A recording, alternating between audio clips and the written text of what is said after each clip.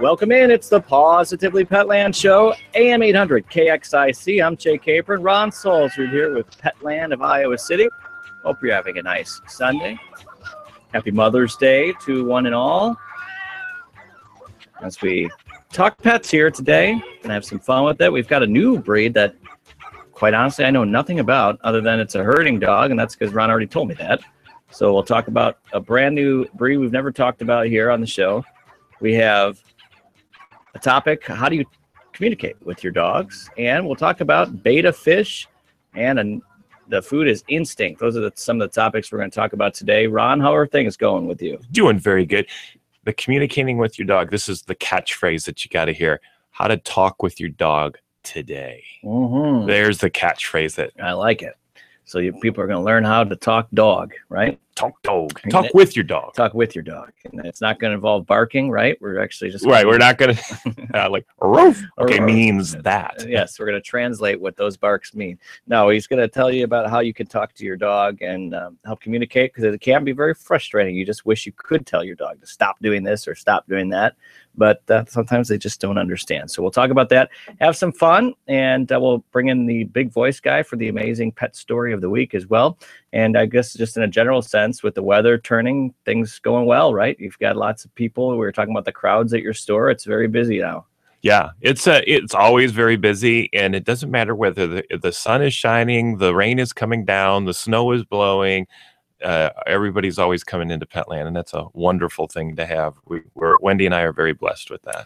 You've got five dollar nail trims. You also have the buy ten get one free for the pet foods for dog and cat food. So yeah, on all of our out. premium foods. So you know, come on in, and if you've ever thought about changing the food or upgrading, or why is there premium food? What's the difference? Come on in, and we'll talk about it. And there is definitely a difference between what you're buying at the marts and the grocery store to a premium food and your dog and you will benefit from it. And what's cool is is you don't you're not even spending more uh, overall because uh, you're going to feed a lot less of this stuff. You're going to pick up a lot less poop which i know is always funny but everybody's ears just perked up right now and said i want some of that. And then uh, uh, and it's better for your dog. You'll actually see the difference in their skin and coat and all that. So and instinct might be the one you want to switch to. We'll talk about that later in the show. But right now we bring in big voice guy, big voice guy. Here he comes. Oh, look what he's wearing. A Cubs hat. i knew it yeah i figured it was going to be story of the week. baseball He's a bandwagon fan. Yeah, oh my uh, That's last week you were wearing a Cardinals hat. So what's the deal here, big voice guy? Yes, the Cubs are doing well. Uh, it's if you're listening on Sunday, I'm curious how they did against the Nationals the past few days. We record this show on Thursdays, and we are your home for the Cubs, KXIC. Thanks, big voice guy. Our amazing pet store of the week. We go to Springfield. I think there's a Springfield in every state. Springfield, Ohio, in this particular case, a six-year-old German Shepherd Sasha helped save a man's life. Michelle and Michael Baugh their neighbor is a 75 year old man who was recently diagnosed with dementia. He wandered from his home in the middle of the night, got lost, and was walking around outside. Uh, Sasha, the dog, was very familiar with this man and found him at about one o'clock in the morning in the driveway, and he was calling out for her help.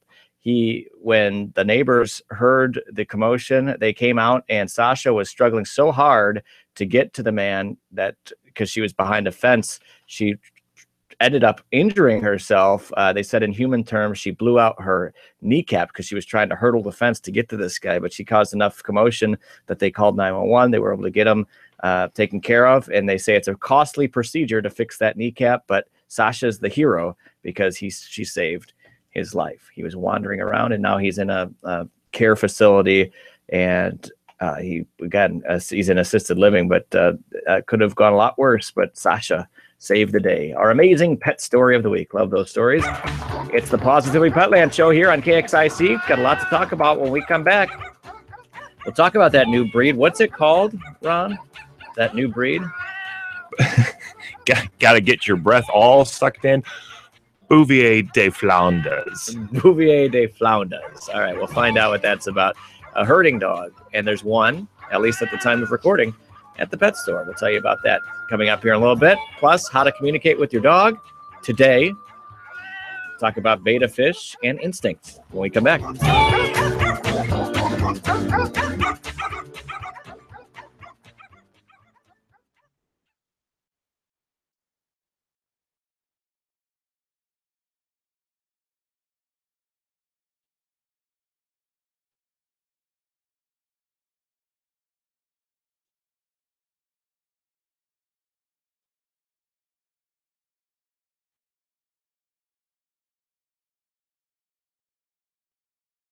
make that first thing interesting every time. And like how I would have done last week. So what was it? How did I do it?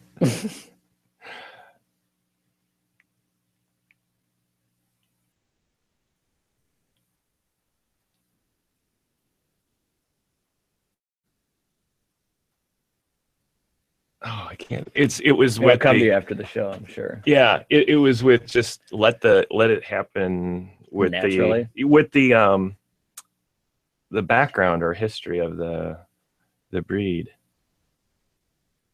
Well, we'll tease it because we want people to listen to the show to find out more about it. So Okay. we'll give it a shot in three, two. 800 KXIC Morning Host Jay Capron with Ron Salsrud from Petland of Iowa City. What is a Bouvier de Floundas? We're gonna find that one out. We're gonna learn how what that breed is all about. What the heck is it? But we're also gonna talk about betta fish. You know those people that are looking for something different. There's a betta fish out there for you. We're gonna talk about instinct dog food and how to talk with your dog today. Mhm, Without barking, how to communicate with your dog. Interesting. Should be fun. It's the Positivity Petland Show, 9 a.m. Sunday mornings on KXIC. Perfect. That's good. Excellent. We're getting. I maybe just stop thinking, overthinking it. Because when you, you like you handed me that one. yeah, that was pretty. Uh, it was on a T there for you, but it was, you know, kind of got you at least started with the topics, and then you just were able to rattle them off. And if you ever forget one of the topics, you could just stop and be silent, and then keep talking, and I can clip the silence off Okay. too. All right, in three, two, one.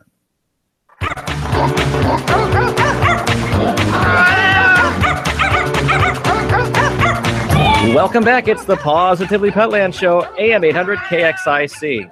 Sunday mornings at 9 o'clock and at KXIC.com on our podcast page and on Petland's website. And soon to be a new look there on the Petland website, too. So check that out. Petland of Iowa City. PetlandIowaCity.com. There you go. PetlandIowaCity.com. So check it out. We are talking pets as we always do around this time, and we appreciate you hanging out with us, whatever you may be doing on this Sunday. If you're listening in, happy Mother's Day. Hopefully, you're enjoying it. And we will continue with our topics. The Bouvier de Floundas. It's a very rare breed that I've never heard of. Um, you've not, as far as I know, have never had it, or you haven't had it at least any time recently. And you do have one, and we're going to find out about it. What is the Bouvier de Floundas? So first we have to stump the J. Oh, boy. So where French. It's got to be French. No, Belgium Belgium. Okay, close. is? I wonder, Very you know, the dialect there, and, and and I'm not even telling you I'm confident on how I'm saying that. Probably not right. Um, I'm sure there's so yeah. So I, I'm assuming that there's a fr- French in there, and somebody's like going, "That is not how you say that." Yeah, Bouvier. Uh, that's what got me thinking it was French, but Belgium. That makes sense. B o u v i e r. Bouvier. Bouvet. Bouvier. I like that. Bouvier de Flanders. So the Jay and Ron dialect Butchering. butchering session. Yeah.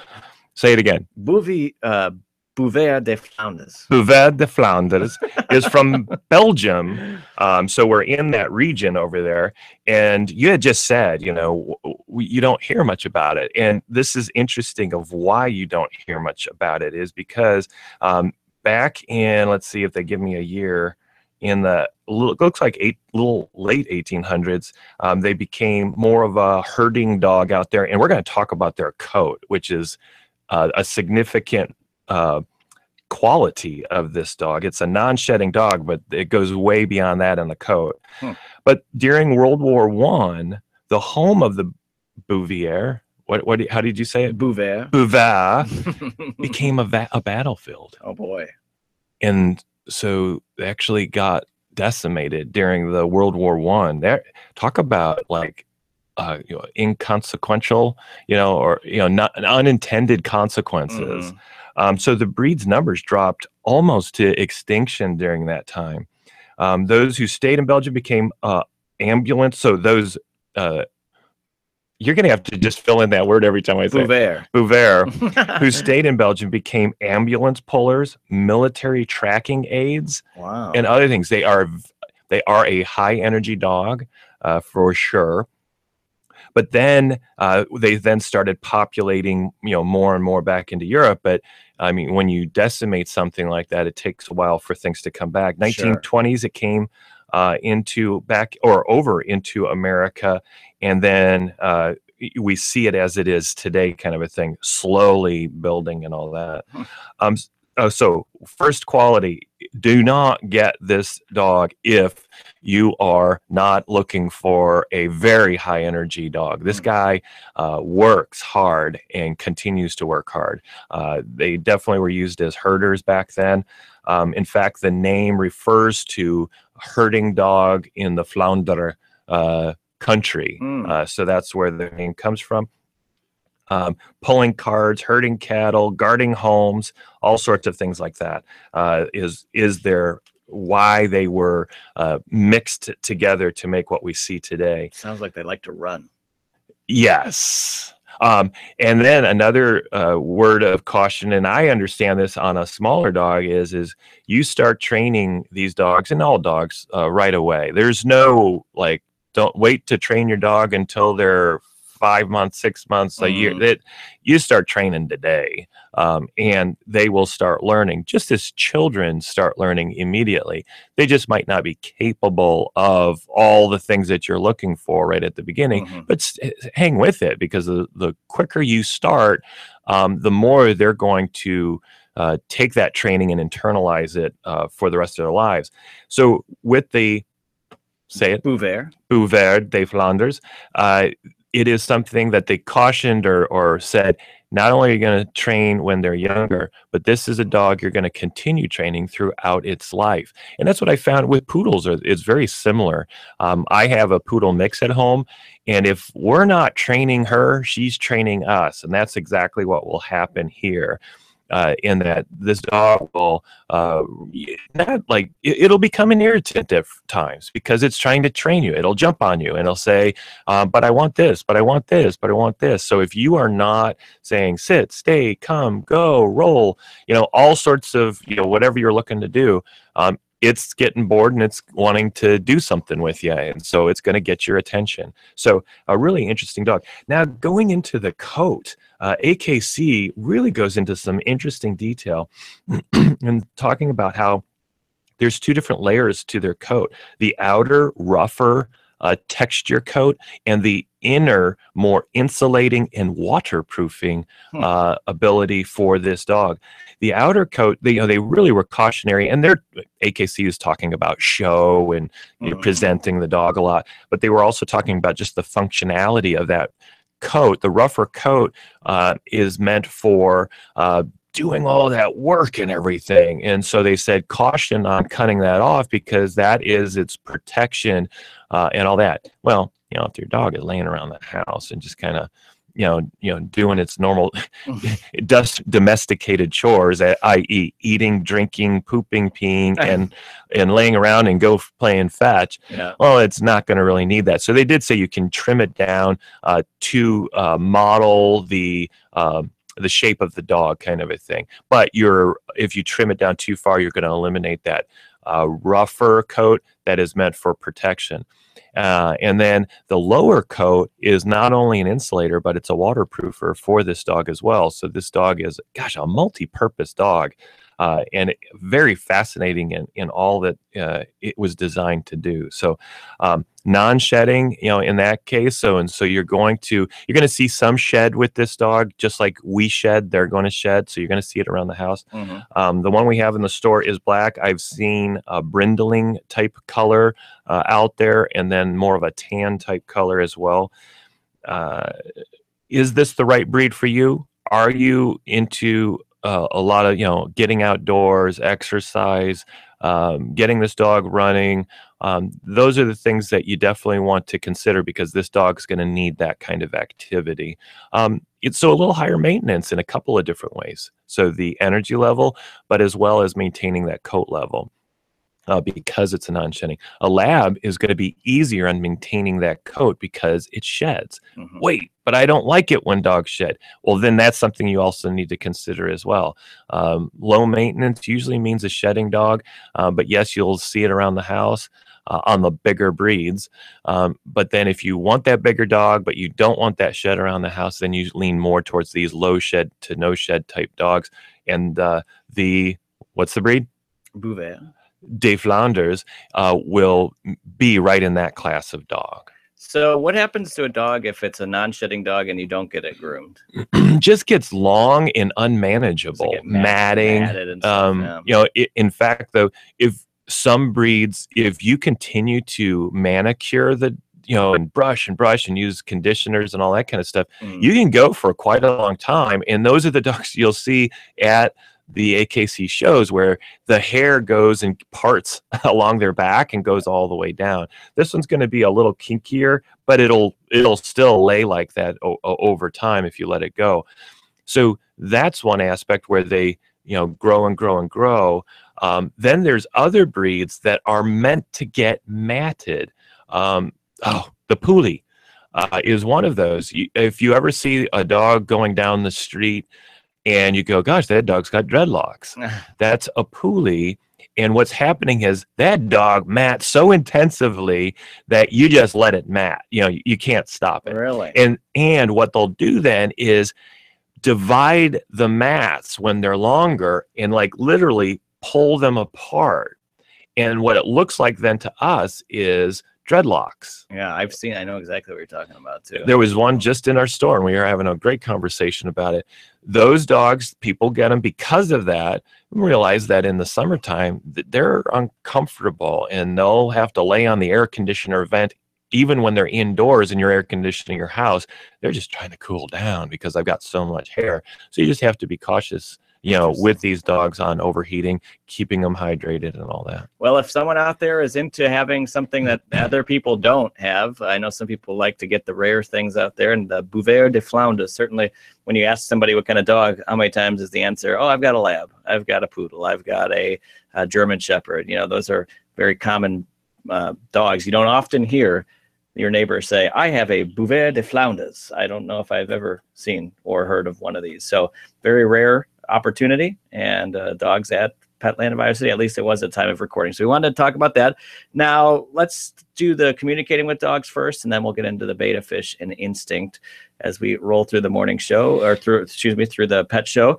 Um, tell us about the how to communicate with your dog. So we, you know, we're it's always fun in the store, and I see it at my own house, and you know, your dogs are doing something, and you you know, you, you- the, we use English to talk with our dog. Stop! No, mm. and all that kind of thing, and realize, and we do that they can't speak English, but you can communicate with your dog very effectively, and it's all through encouraging behaviors and discouraging behaviors. And so that's how we have to communicate and talk with our dogs. And if you stick with two principles, as long as you're, and we're going to talk about how do you communicate, but as long as you do it frequently, so over time, and you continue to do it, um, and, and there's repetition so that they understand patterns. Um, that's one key component. The second component is that you're consistent. Don't do it one way and then do it another way or not do it at all. You need to be consistent with your dog. So if you're going to, you know, and, and pick it, you know, one thing at a time. Don't like get, I'm going to teach it to do 10 things today. No, one thing today and then stick with it. So keep it simple, I guess would be the third thing. So uh, those three things frequency, repetition is key to training. Uh, uh, uh, uh, keep, it just went out of my head. Consistency. Consistency. Holy cow, where did that one go? I Don't know. and then keep it simple. So, how do you communicate? There's three ways to communicate your, with your dog: the treat, scratching by the jowls, and then a verbal "good dog, good dog" or whatever you want to do to uh, say, "Yeah, this is a good thing that you're doing." And the key to it is do it when they're doing what you want them to do. And so we're going to start simple, and then I'm going to uh, give you a little more. Uh, catch them when they're doing it or make them do it t- kind of thing and and we'll ex- we'll we'll uh, stretch it into that so you understand what I'm even saying right now. All right, so uh, a simple command like sit uh, or potty training, you have to give them the treat when they're doing what you want them to do. Mhm. And so, uh, potty training, uh, that's going to happen automatically, whether we like it or not. And we can bring our dog outside and always be encouraging them to do it outside. So, when they're peeing, you can give them a treat, you can scratch the jowls, and you can say, Good dog, good dog. All three of them are going to uh, go as, as quickly as you can to communicate with them. The treat is the number one scientifically proven way to communicate with your dog that what they're doing is a great thing because they want another treat. And so when they're pooing or peeing outside, give them the treat while they're doing it. And I know, well, wait, what do you mean? You know, is it's that simple? Yeah, it's that simple. In fact, if you don't keep it that simple, it gets complicated. If you wait to give them the treat till when they come back in the door, they think coming in the door is why they're getting the treat. And there are people right now going, oh, yeah, that's why my dog goes back out the door and back in the door because they want another treat. So realize your dog, if you encourage your dog right when they're doing what they're supposed to be doing, then they go, oh, this is what you want me to do. Now let's bring back in those three things. Repetitive. The more you do it, they the more they're going to see that trend and go, oh, I'm going to do it again and see if they'll give me another treat. Consistency. If you mess up on the consistency part, they won't see the trend. And so you need to be consistent. And then keep it simple. Um, it is as simple as when they're doing what you want them to do, that's when you give them the treat and the encouragement with the scratching around their jowls and the good dog, good dog. If you wait a little while later, 10 seconds, now you've messed up all that and they're not going to understand what you want them to do. They're not going to see the repetitives the consistency and they're going to get confused on what am i supposed to do again? I was running across the yard to you and then you just gave me the treat. Well that might encourage them to run back to you uh, but it's not going to encourage them to potty train. I, I hope everybody's starting to see like Oh, yeah, you got to do it immediately when they're doing it. I, I'm starting to understand that because the dog can get confused really easily with what you're reinforcing. And this is how we communicate with the dog. Uh, so, positive reinforcement is 90% of what you need to do with dogs. The, the uh, discouraging behaviors is is a, an important part, but it is a very minor part of overall training with your dog. So now let's say, well, I want to teach my dog, let's say to sit. And how do I do that? Because how am I going to catch my dog sitting and then encouraging it? That's a little more difficult. Well, there are some techniques you can use uh, in a lot of different ways to make the dog do what you want them to do kindly and then encourage what they're doing immediately then uh, like what we just talked about so for sitting uh, what you do is you take a treat put it in your uh, in your uh, you know between your uh, thumb and finger and, and and make sure you grab onto it don't let them just have it now you're going to go up to your dog um, they're looking up at you, and that's actually the stance you want. So they're standing in front of you, they're looking up at your head, kind of a thing. So their head is up. You now put that treat right at their nose and push so that they go backwards. And when you do that, dogs naturally sit. I'm going to say 80% of dogs naturally sit. The other ones, you might have to pat them on the butt a little bit to make it go down. As soon as they sit and get that bottom on the floor, go sit and then give them a treat. Now you've encouraged them, or you you've said, "I love it when you sit." But the first time you do it, realize they go, "I don't know why you gave me that treat." And then the next time, hey, you gave me a treat again. It's pretty cool. I'm gonna, uh, I like this, whatever you're doing. And then third time, fifth time, tenth time, twentieth time, they over that period of time, they understand that as you're doing it, they're now uh, going, "Oh, when I put my rump on the floor." you put that treat right in my mouth. Wait, this is kind of interesting. I'm going to try it now. And they're going to put their butt down on the ground and see if you give them a treat. Uh, you also, though, if you associate a command now and say sit, then you can say sit. They're going to go, oh, yeah, I know what this is. I put my butt on the ground and you give me a treat. And now they start, you're communicating with your dog and you, you, you know kind of forced them to do the sit kind of a thing you know you're you're encouraging them in natural ways to do that and so th- think through that. So it's repetitive so that they understand it uh, and they see the pattern. It's consistency. Do it every time so that they see the pattern and then keep it simple no matter what you're doing. Don't complicate this thing up. Uh, realize there's like when you do rollover um, first you want to teach them how to lay and then you want to teach them how to roll over and then you can teach them how to play dead. And it's just putting one thing on top of another thing on top of another thing. So that's getting into communicating uh, lo- uh, longer. Um, if you if i'm like like going you you're not getting this right now. Come into the store. I'll i'll go through it in more detail with you're you doing a good job of explaining it. I think that makes a lot of sense. so now let's take it one step further on that and saying, okay, there's uh, there's other things I'd like to uh, teach my dog, and some of the stuff you're going to find random things will occur. Um, a lady was in our store, and it was about six months ago, and the the funniest thing, she could make her dog smile. Mm, And I and she did it right in front of him. She goes, smile. And he lifted up his lips and he showed his teeth. And I'm like, Mm. how did you do that? She goes, it was really random. She goes, I was in the kitchen and I was throwing away a piece of paper and I was close to the dog and I crumbled up the piece of paper and it made the crunchy sound. My dog lifted its jowls when it did that. and he she goes, Well, that's kind of neat. And so she got another piece of paper mm. and he did it again. And he goes, that's when she understood if I encourage him right now and put a command or a word to it, I can make him do it over and over again, even without the piece of paper. So she crunched the piece of paper and then said, smile, and gave him a treat. Mhm, And the dog now over, so she then repetitively did it. mhm. She consistently gave the treat every time he did it, and she keep kept it simple. And now the dog will smile on command. Just yesterday, there's a gentleman that's looking for a husky, and and you know I really love huskies, and I want a husky and all that kind of stuff. And so we were talking through the breed and everything, and you know, kind of the random thing. He goes, and I want to teach it to howl and to you know I make noises and all that. And I go, be careful what you wish for because I can tell you how to do that on a husky. All you got to do is hold a husky for about five or 10 minutes. They want to get down and run around.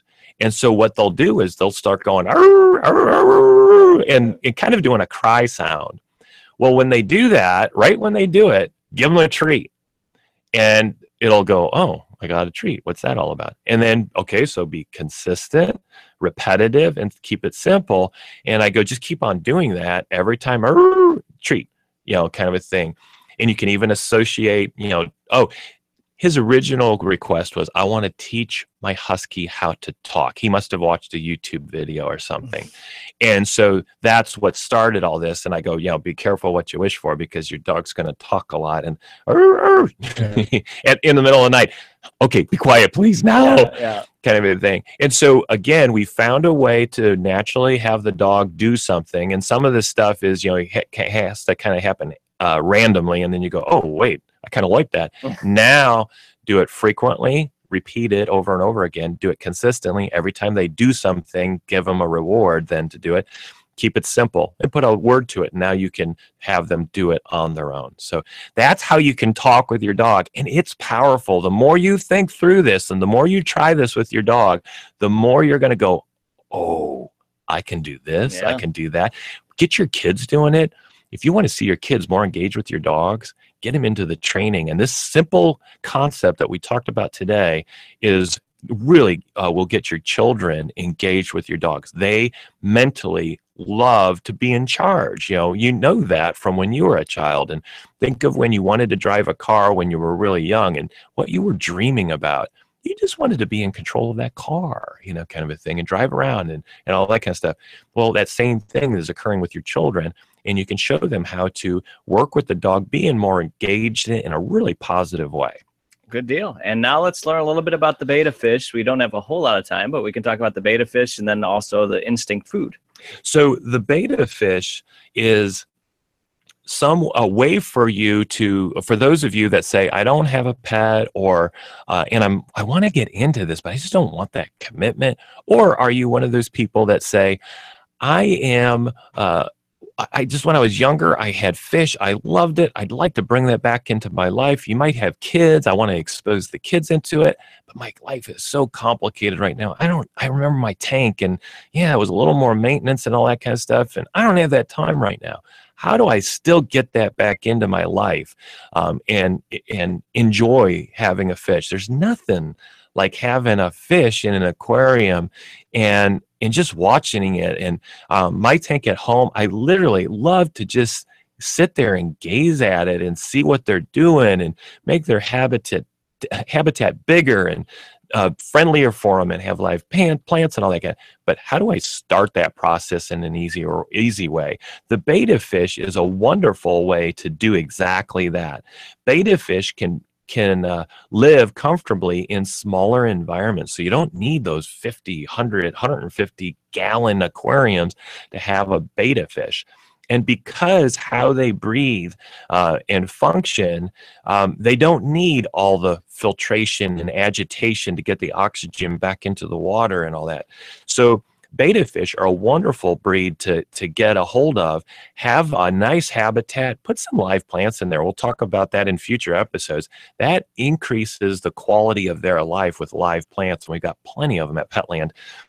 And you can smaller or you can even go bigger, a little bigger, five, 10 gallon, 20 gallon with a betta and do a lot of decorations. Make it uh, more of a showpiece on your counter rather than a bowl with a fish kind of a thing. So you can go in many different ways with uh, a betta fish. You can start simple and move more into other things. But now think about your children. You can teach them how to take care of a life. All you're going to do uh, in if you don't have filtration is replace half that water once a week. So you're going to take a cup and dish it out and then put more water in. We're going to talk about what you need to do that to that water before you put in in future episodes as well. But the betta is such a nice simple way to get back into that fish hobby show your kids you know you got to feed them every day and not too much and all that kind of a thing and really get your you and your kids back engaged in the the hobby of of fishery um, and having fun with it, and you'll enjoy it. Just gazing at it and just think about and i know it's going to be sometimes short just think about just gazing at that fish you know right before bed and just going, isn't this fascinating watching this life with your child? Probably is best right before they go to bed when they're starting to settle down. Because in the middle of the day, they're going to go, okay, I've had enough. Let's go through the wall. But you can have that enjoyment of the fish and discover that together and find out that your child might be interested in different aspects of it. Ask them questions about that betta fish. And what do you see when you look at that betta fish? Well, I see it swimming. I see the blue. You see blue, it's a redfish. Well, yeah, but if you look at the gill right behind it, there's a little spot of blue. I didn't even notice that. So get engaged with your pets in this way, and a betta fish is a great way of doing that. And of course, you got to name it too. So you got to get there. You go. Have a new name for it. All right. So as we get ready to wrap up, we'll uh, give you some time to talk about, about instinct, and then we'll wrap up the show. So the name certainly grabs you, and it makes people think about ah, that. This sounds like a food that's the right stuff for my dog because it goes to their instinct. It's it's what they should be eating. That's kind of their marketing. It looks like. And that's definitely it. Instinct dog food is a higher than high, you know, premium food uh, when they go through it. Just look at their ingredients. You just like go that is packed full of of what the dog should have high in the the protein good quality proteins different proteins in there um, and then a really good variety of a well balanced diet for a dog and they have it for we have it in the store for a cat as well and the same thing goes. Um, this is when you want to go to this food, check it out on the web, come into our store. We'll go through the bag with you and all that kind of stuff. It is a really interesting, unique brand that takes it to a whole level and you will see it in your dog even more and the quality that, of, of life that it gives your dog um, you will feed less of it you will pick up less poop and all that kind of a thing as well. Um, Instinct, though, takes it to a whole new level. You can even uh, introduce their frozen foods on top of that. So now Instinct frozen foods is not cooked. And you go, well, what's the benefit of that? Well, it's just like what we learn about vegetables and other things. When you cook them, that changes the molecular levels of these uh, foods and uh, some of the nutrients goes away. So they have it in a frozen variety. And that usually is just mix it in with the kibble kind of a thing. They even have soft kibbles in there uh, so that they cook most of the kibbles, but then they leave some of them soft. It's because they didn't cook them at that high temperature. The frozen, not cooked. Then they even have dehydrated products. So it's a really cool brand that lets you really mix it up for your dog and get into a lot of good quality ingredients cooked in different ways so that they can get all of the nutrients out. I'm telling you, this is like more variety than we have for our own foods. It's just amazing what is happening in the dog food and cat food industry right now. So Instinct has taken that all to a whole new level, and you want to check it out. Sounds like it. And if you want to talk to someone about uh, quality dog foods, talk to someone at Petland of Iowa City. Instinct, what might be right for you. There's lots of other great brands as well, and you can learn more about the benefits to your dog. That's Ron Salzford. I'm Jay Capron. This has been the PAWSitively Petland Show. We are out of time. Fun show as always, Ron. We'll talk to you next time around. Bye. See ya.